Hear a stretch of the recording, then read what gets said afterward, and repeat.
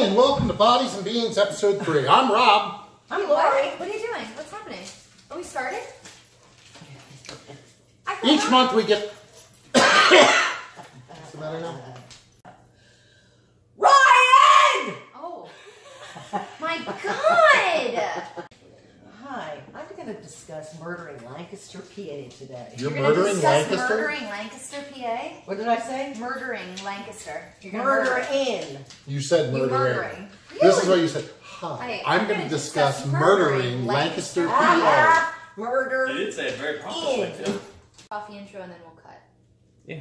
You guys should be drinking this, just going. Oh, you this were is asking so about- goddamn um, good the whole time I'm talking. I should. Ah, son of a. What was that? It's gonna be so off the cuff.